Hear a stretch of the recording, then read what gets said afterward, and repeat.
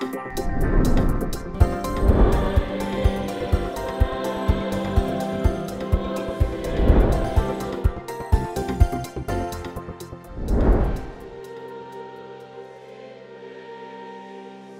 singing is a powerful way to reach the hearts and souls of people. The beautiful hymns give comfort to each individual through every challenge they face in life. Sister Crystal tells us about the importance of and inspiration for continuing on in this duty.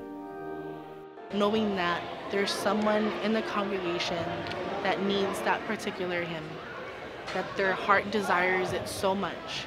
It puts so much beauty into it, but also that God is waiting for you to sing it that way. And it's really in how it's sung and the love that you put into every lyric that you sing.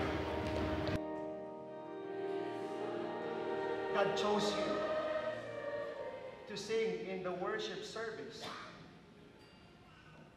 But for what reason, beloved brethren? For what reason did God appoint choir members in his nation. Let us not forget this here in the book of Second Chronicles. This is what we can read 2021.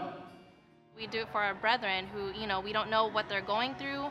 The best that we could do for them to show our love for them, to show God's love uh, through us for them, is to be able to perform our duties to the best of our ability, and that's to sing hymns and praises with our hearts.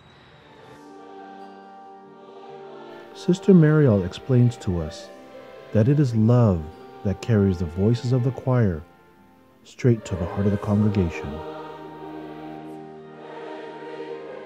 When you sing it as one and you pour your heart and your soul into it, the choir members of Southeast California, just like Sister Crystal and Sister Mariel, are reminded of the unity of love that enables the songs of praise to resound and are once again strengthened from this special choir day.